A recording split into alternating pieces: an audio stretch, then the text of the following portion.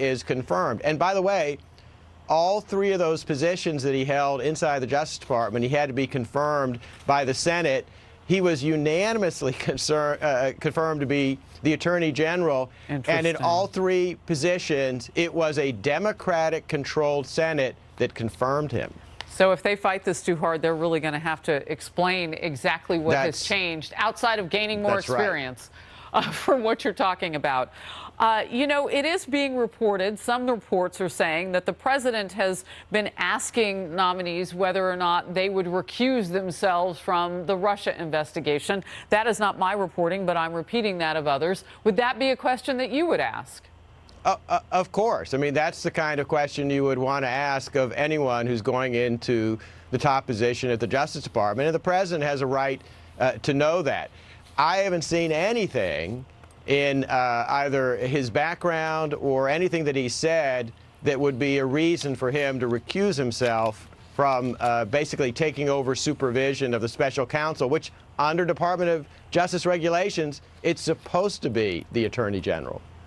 All right. Uh, as far as what we know about the Mueller investigation, I don't know if right. you could hear Congressman Andy Biggs of Arizona talking about this, but what he liked about William Barr is that it may add a rudder, if you will, uh, to the ship of the investigation into the president by or his campaign by Mueller. What, what's your thought on that? No, I actually agree with that. Um, I, I, don't think the special counsel has been supervised in his work the way he should be, in a way that, that the Attorney General's office has an obligation to do. Look, maybe Mueller's got some kind of evidence that has not yet been publicly disclosed. That's certainly possible. But through today, not a single one of the indictments that he has put out, including the ones of Cohen, uh, Flynn, and Manafort, had anything to do with or provided any evidence about any supposed collusion or with the Russian government. Or, yeah. Right.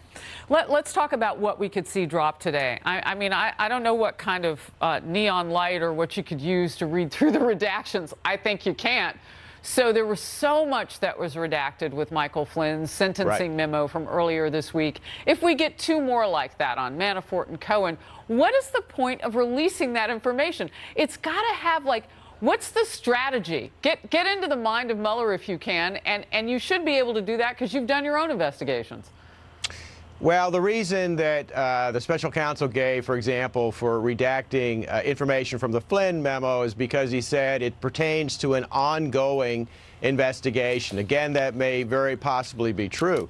But look, in the Manafort case uh, today, we're supposed to get a sentencing recommendation memo from uh, Mueller. And remember, about a week or so ago, Mueller filed a special pleading with the court accusing Manafort of having lied to the special counsel's office since he agreed to a plea deal. And uh, the special counsel said, I will detail what those lies uh, are in the report that's going to be filed today. So I, I think we're actually going to get information on what the supposed lies are that, that hmm. Mueller is accusing Manafort of. All right. Uh, Hans, great to see you. Thank you very much for your time today. Thanks I, for having me. I want to bring everybody's attention now back to the lectern there in Kansas City. That is the Westin Crown Center uh, Hotel, and that's where we anticipate the president will step up at any moment. We're going to take a quick break now and come right back. Stay close. Please welcome our nation's highest.